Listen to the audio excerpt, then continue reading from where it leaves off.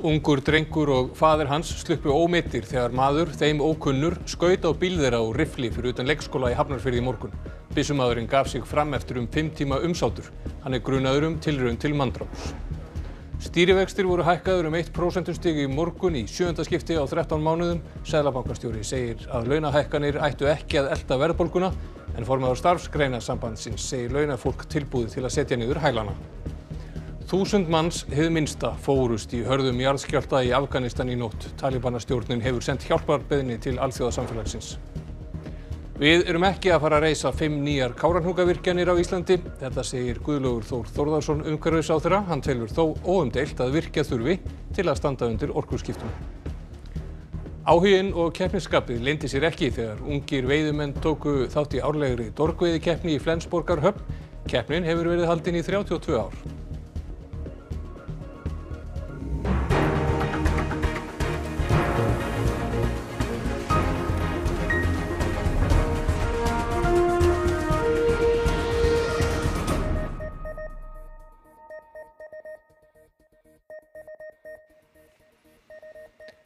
Kvöld.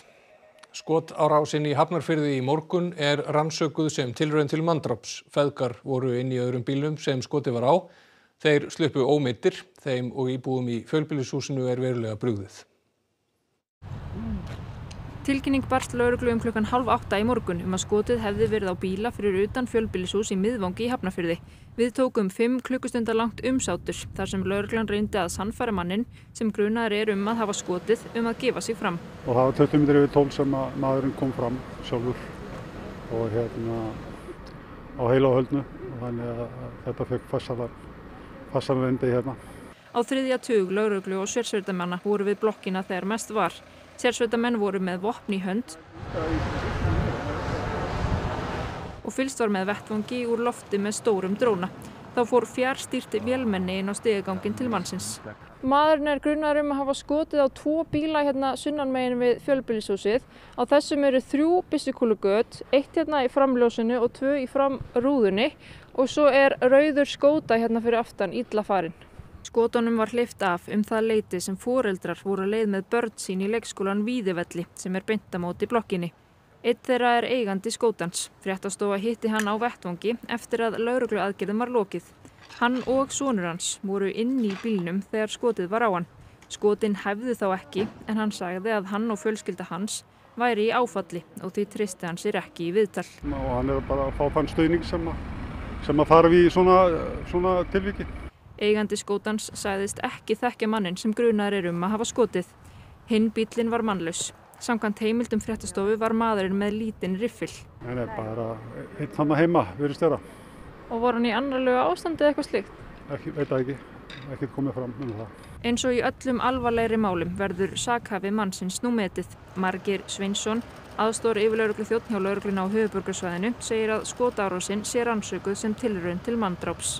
Íbúum í nágruninu var ráðlagt að halda sig frá gluggum og leikskólabörnunum 17 sem voru mætt á víðivelli var haldið innandira og í þeim enda húsins sem vísaði frá blokkinni. Nágrannar mannsins í blokkinni voru margir eftir sig. Og fæði ekkert að vita neitt. Svo ég ætla að fara hérna upp úr tíu í morgun út og þá fæ ég að vita það ég fá ekki að fara út úr íbúðinni. Og ég bara kom með um þetta. Ég var svona eiginlega náttúrulega bara mjög, eiginlega mjög, bara mjög brugðið vegna þess að við erum hérna stödd við, við hérna leikskóla. Og hann skýtur í áttina að leikskólanum. Og, og já, manni verður virkilega brugðið við það. Ég verð óvörg og er ennþá svona skjálfa dýfur. Og hérna fennur bara og fyrir að fyrir út og svalir og kíkja kík eftir svona umferð og svona. og mér standur nú ekki sama því að mann man er ekki vantur þessu. Hækkun stýrivaksta er ætlað að búa í hæginn fyrir komandi kjærasamninga, segir Sælabankastjóri. Stýrivextir hækkuðu um 1% stig í morgun og var þetta sjönda hækkunin á rómlega einu ári. Stýrivextir eru komnir upp í 4,75% eftir að peningastefnu nefn Sælabankars tilkynntum 1% stigs vakstahækkun í morgun. Stýrivextir Sælabankans náðu sögulegu lámarki í áslokk 2020 þegar þeir voru 0,75%. Vaksta hækkunaferli hófst í fyrra vor og síðan þá hefur peningastefnum nefnd hækka vexti í hvert sinn sem hún hefur komið saman alls sjö sinnum síðustu 13 mánuði. Í fyrstu voru hækkarendar hóflegar eða 0,25% en eftir því sem verðbólgan hefur farið úr böndunum hafa hækkanennar orðið ríflegri. Fyrst um 0,5% stig, svo 0,75 og í síðustu tvö skipti um heilt prósentustig. Eins og flestir aðri seðlabankar glýmis á íslenski við verðbólgu vegna hráverðverðs hækkana. Ofan á það bætast stjórnlausar húsnæðisverðhækkanir sem seðlabankin hefur ítrekka reynd að kæla og merkir um að hagkerfið sé farið á fullt eftir faraldurinn. Skortur á vinnuafli hefur til dæmis ekki verið meiri síðan 2007. Seðlabankastjóri er herskár og segir að vextir verði hækkaðir þanga til náð verði tökum á verðbólgunni. Einu sem við getum sagt er það að við erum tilbúin að gera það sem gera þarf. Við erum með stýritæki, þau býta. Við erum með sjálfstæða til þess að beita þeim og við bregðumst við. Ég er bara vonandi náðu, náðu tökum á þessu sem allra fyrst. Hversu hátt vextur þurfa að fara ræðs meðal annars að því hver niðurstaðan verður í komandi kjaraviðræðum. Ásker segir að með því að hækka vexti sé verið að vinna í hægin fyrir kjarasamninga. Með því að sína með trúurum hætti að verðbólka er að fara niður þannig það þurfu ekki að semja um sérstaklega umbund fyrir verðbólgu í næstu kjarasamning. Þannig að launafólk í landinu geti samið um uh, launahækkanir sem, sem byggja á raunverulegum kaupmætti, raunverulegum krónum, ekki verðbólgu krónum. Fórseti ASI og framkvæmdastöri samtaka atvinnulífsins eru sammála um að vaksta hækkunin sér slæm og hafi neikvað áhrif. En þau sína skilning á þeirri stöðu sem bankin er í. Koma þurfi böndum á verðbólguna. En þau líta leiðsögn Sælabankans ólíkum augum. Og ég með það sem svo að trúverðuleiki Sælabankans sé mikill um þessar myndir. Og við höfum að leggja við hlustir þegar Sælabankin og forsvarsmenn hans já, veit okkur svona framsýna leiðsögn. Er nú ekki Sælabankastjóri sem gerir kjærasamninga, það er aðeila vinnumarkaðarins. Það sem við horfum til þegar við gerum kjærasamninga er að jafna leika, að fólk fái hlutdeild í þeim verðmættum sem við erum að búa til. Þar er töluvert svigrum. Og það verður rætt nánar við Drífu Snædal í Kastljósi að loknum fréttum íþróttum og veðri. Þar verður einni Sigur Hannesson, framkvæmtastjóri samtaka yðnaðarins, þegar ræða þau efnagsástandið og komandi kjaraviðræður. En fyrsta stóra kröfugerðin fyrir komandi kjarasamninga hefur verið lögð fyrir atvinnureikundur. Starfsgreina sambandið krefst krónutölu hækkana í því augnamiði að bæta kjör þeirra lægst launuðu. Framkvæmtastjóri samtaka atvinnulífsins segir mikilvægt að viðhalda jafnvægi í efnagslífinu. Fulltrúar starfsgreinarsambandsins hófi í dag formlegan undirbúning kjaraviðræna við samtök atvinnulífsins með því að kynna kröfugerð sína. Undirbúningurinn hóst reyndar með ágreiningum hvort fundurinn hefði verið búðar í dag eða á morgun. Þú áttu, áttu semst að mæta á morgun? Það er miskildu dagsetninguna? Nei, það er ekki rétt. Það er bara ekki rétt. Það er þú sem miskildir hann. Hvað er það að fara fram á? Við erum að horfa alltaf til þess sem við gerðum í lífskjærasamningnum, þar sem við horfum á krónutöluhækkanir því að þær koma okkar eh, hópum hvað best, tekilögst af fólkinu.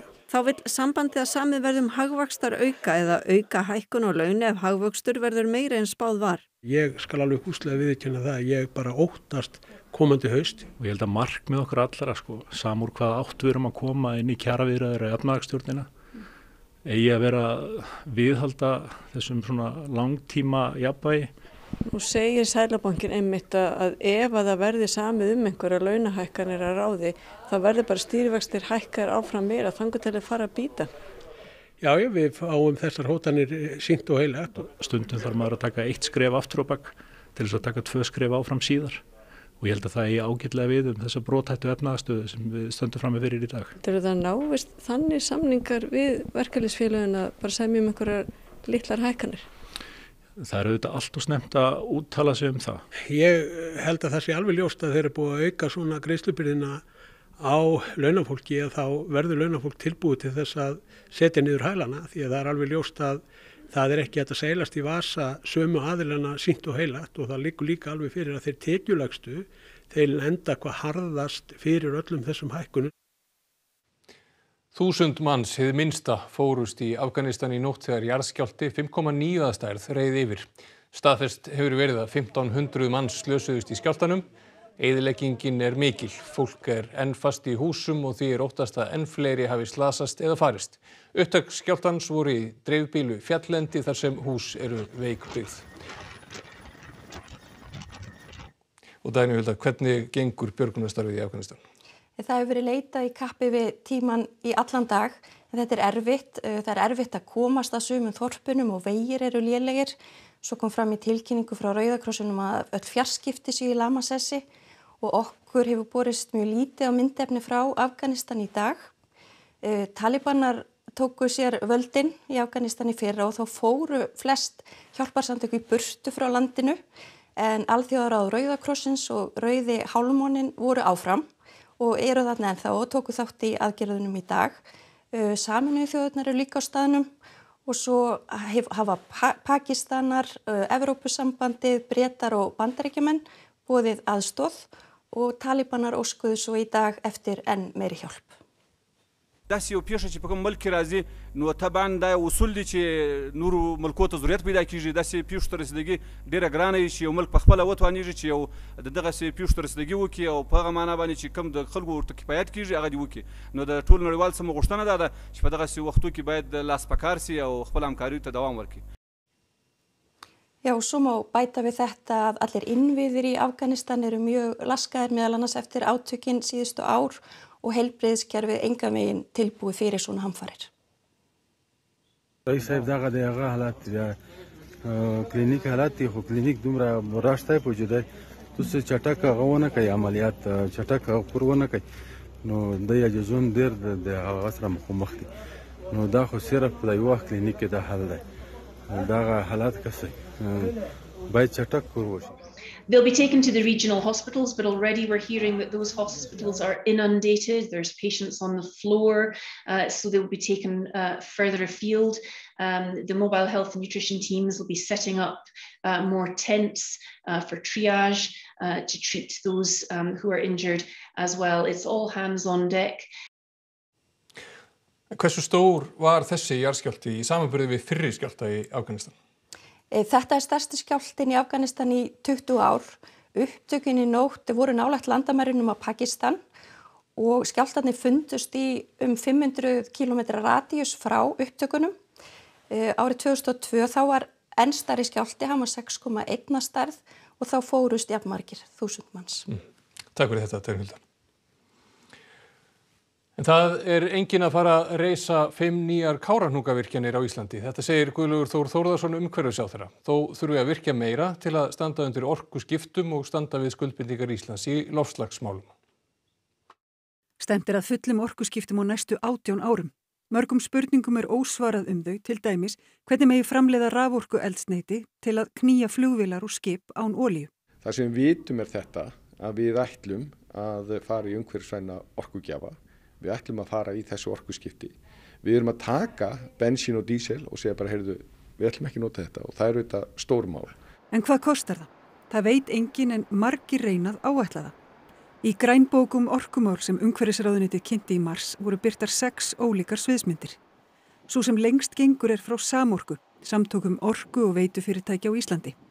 Það er gert ráð fyrir að raforku þörfin aukist um 124% sem jafngildir meirinn 5 nýjum káranjúkavirkjunum eins og fjalla varum í fréttum í gær. Þá er miða við að notkun stórnotenda raforku, stóriðju og annars orkusækins yðnaðar haldi áfram að aukast eins og verið hefur. Önnur sviðsmynd samtakana gerir ráð fyrir rúmum þremur káranhjúkavirkjunum, hinnar sviðsmyndirnar ganga mun skemur. Til að mynda gerir önnur á tveimur sviðsmyndum orkustofnunar ráð fyrir 21% af vexti til ásins 2050, eða sem nemur tæplega einni káranhjúkavirkjun. Það er þó hvorki gert ráð fyrir fullum orkuskiptum nýja aukinu orkuþörf stórnatenda. Ja, fyrsta lagi við erum ekki að fara í fimm kárningavirkjanir. Við erum með miklu fjölbreyttari kosti. Landvernd byrti nýverið þrjár sviðsmyndir. Svo sem lengst gengur gerir ráð fyrir að við þurfum 75% meiri orku eða sem nefnur þremur kárningavirkjunum. Samtökinn kenna hana við kæruleysi og aðgerðaleysi. Önnur sviðsmynd gerir ráð fyrir fullum orkuskiptum án þess að virka meira með betri nýtni, til dæmis með því að draga orkunótkun stóriðju saman um helming það þarf að framlega græn orku. Það er alveg óumdilt. Og það hefur alltaf verið líka markmið. Það hefur aldrei komið ríkistjórn á Íslandi sem ætlar ekki að halda áfram að framlega græn orku. 80% af orkun okkar fer í stóriði eða stóru notendur. Ég meina það er náttúrulega hægt að taka þá orku og setja hana í orkuskipti. Já, já, það er alveg hægt. En hvað ef allir gerðu það? Hvað ef alla þjóði færu það leið að segja að það sem að okkur snýr, við færum það bara til annar landa. Þá næðist engin árangur í barátningi loftlagsváni við skulum taka þessu verkefni mjög alvarlega, það er mjög stórt, uh, við þurfum að ræða okkur í gegnum mjög margar hluti en við, við skulum ekki hræðast það og það mun margt hjálpa okkur í þessu og þá fyrst og fremst hugvitið. 116 manns hefði minnsta hafa farist í flóðum og skriðum í Bangladesh og á Indlandi síðustu daga. Þar, líkt og í söðurhluta Kína, er nú mestu flóði í áratugi og mikil neyð. Það er ekkert óvenjulegt við að úrkoma sér mikil í Suður Asíu í júni en það byrjar monsúntímin yfirleitt þá. Í ár hefur aftur á móti verið mikil úrkoma í norðaustur hluta Indlands og Bangladesh síðan í byrjun mars. Sérfræðingar telja að মনসুনtímin sé að verða breytilegri vegna hækkandi hitastiks। দিন দিন আবহাওয়া পরিবর্তন হচ্ছে এইরকম বন্যা আমার জীবনে কখনো দেখি না এখন বর্তমান যে পরিস্থিতি দিন দিন খালি পানি বাড়তেছে পানি বাড়তেছে আবহাওয়া কোন সময় কোন ইয়ে আসে বলা যায় না আর ঘূর্ণিঝড় ঘূর্ণিঝড় এইভাবে আমরা জীবনে দেখি না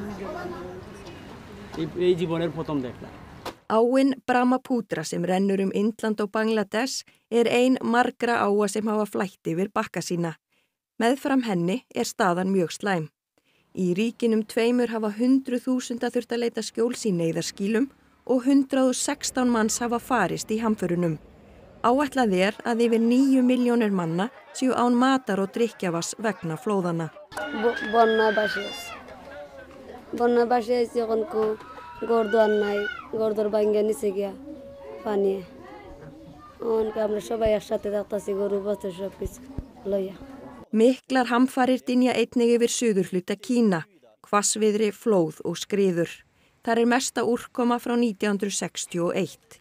Hundru þúsunda hafa neðst til að flýja heimili sín og ár hafa flætt yfir bakka sína og flóðin hrifið með sér hús og annað sem á vegi þeirra verður.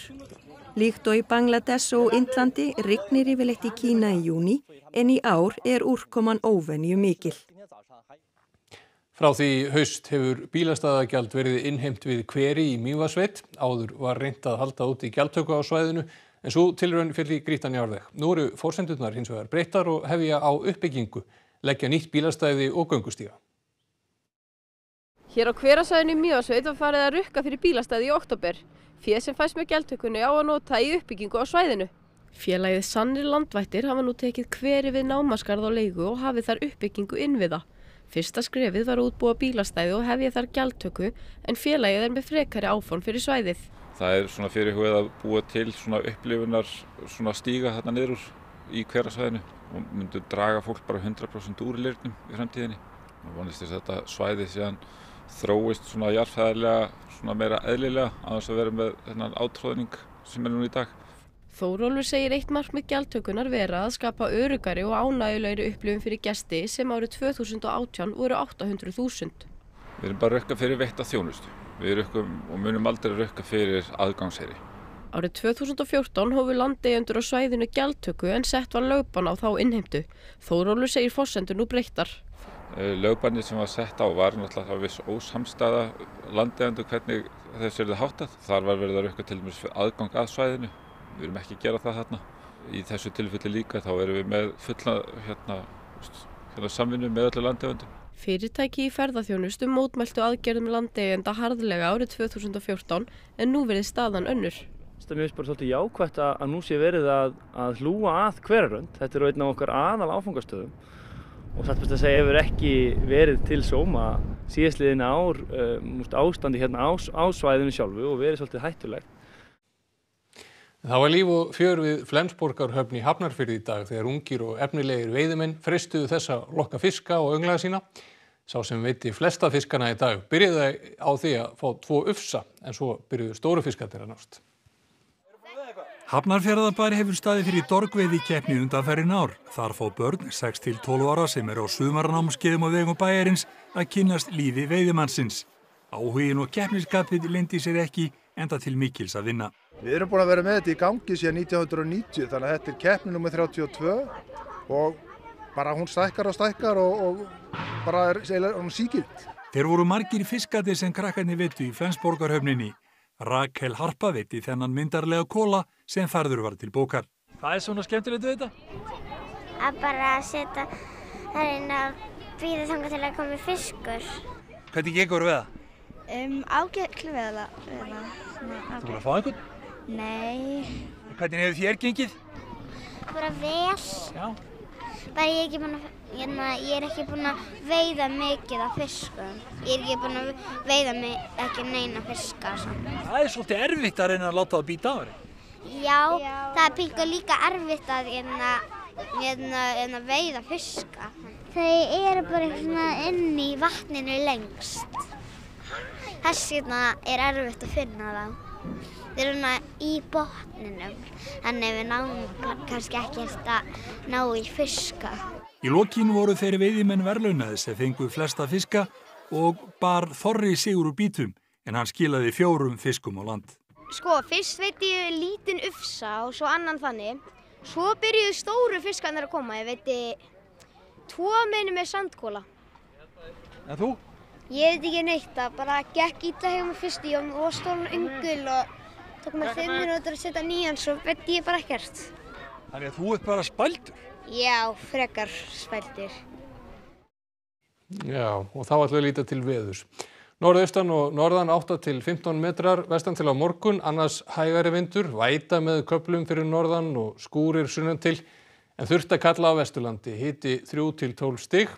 Birta Líf Kristinsdóttir veðurfræðingur fer nánar yfir veðurhorfnara loknum íþróttum og það er hann Einar Örn Jónsson sem að sér um íþróttinnar í kvöld. Anton Sveitmakí tvíbætti eigið Íslandsmeti 200 metra bringusundu á HM í 50 metra lög í Budapest í dag. Hann var með næst besta tíma allra í undanúslitum og sendir til úslita á morgun.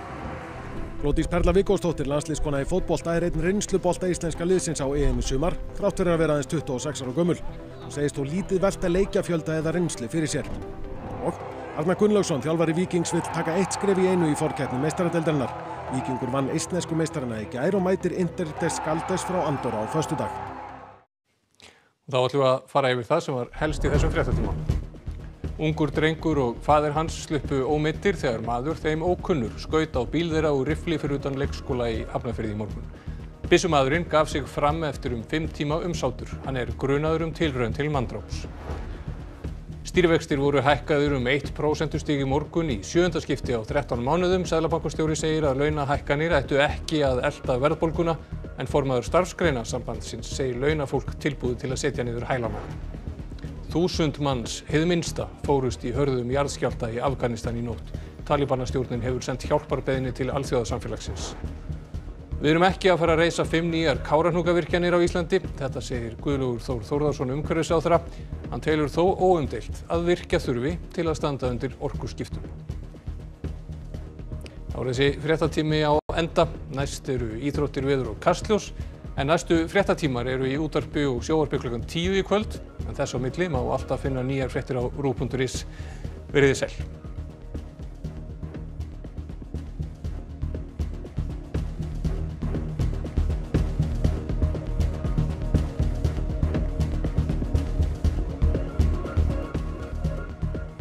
Annarkvöld á Rúf. Sumarlandabrót, stutt umfjöllun sumarlandans sem verður á flakki í sumar og hittir landan fyrir í sínu náttúrulega umhverfi. Ömurlega mamma, danskir þættir þar sem fjallaður um þær miklu breytingar sem fylgja því að verða móðir. Haltu mér, sleftu mér eru romantíski gamanþættur um pör sem tengjast innbyrðis í Manchester á Breitlandi. Aldur og indistokki eru norskir gamanþættur um hjúkrunafræðingin Merete sem stendur á tímamótum. Förum á EM eru þættir þar sem hraðfréttamennir hita upp fyrir EM kvenna í fótbolta.